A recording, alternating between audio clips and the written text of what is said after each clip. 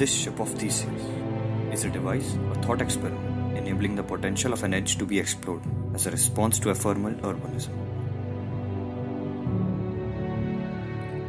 We perceive it as rebuilding the ship with current needs and parts of the old to serve the future, where an existing base of ship was adaptively reused. Timeline was designed where the ship would be moving at multiple locations serving coastal communities. It comprises of a training module, exhibition module, market module, contemplation module, wherein metal scrap from site was reused. Here I present to you the ship of Theseus as a social play.